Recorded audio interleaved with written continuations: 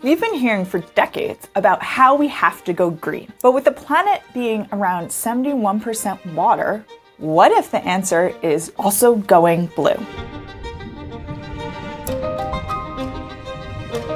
Foods that are cultivated and caught in water are rich in protein, vitamin A and B12, calcium, iodine, zinc, and omega 3 fatty acids. And because of this, they're an important source of micronutrients for one in five people around the world. They also help support the economy of many countries, might be a key to helping us curb our carbon emissions from food production. And yet, historically, the world has largely ignored blue foods by leaving them out of global policy. A blue transformation is critical in transforming aquatic food systems to address food and nutrition security and poverty globally. So if blue foods provide micronutrients and protein for so many people, help sustain economies, and could help us be resilient in climate crises, why have they been ignored? My name is Karly Kelso, and I'm here to tell you why blue foods are important and how we can get more.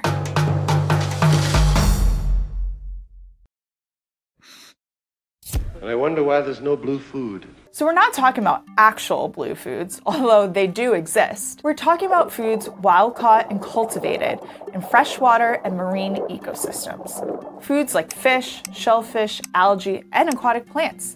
They're extremely important for coastal and rural communities, especially throughout the global south and in the developing tropics. This is because over 500 million people rely on blue foods for their livelihoods, most in small scale fisheries and aquaculture, like fish farming, which in turn helps reduce poverty at the local level. Aquatic foods also means job for women. Four of 10 people in small scale fisheries are women.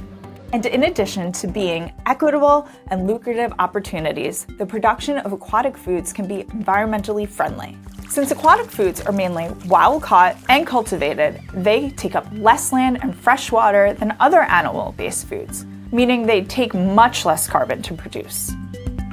And in terms of some blue foods and how they stack up against land animals, bivalves like oysters offer 76 times more vitamin B12 and 5 times more iron compared to chickens.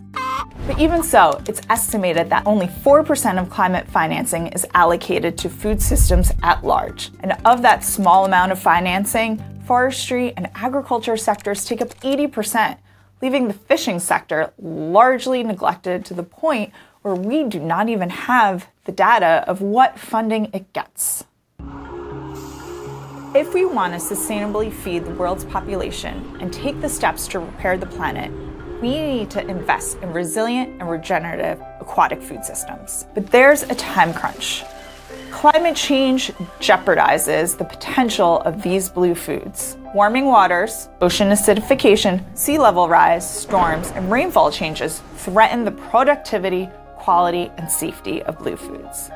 Tropical countries alone, climate change is predicted to reduce the productivity of fisheries by up to 40 percent.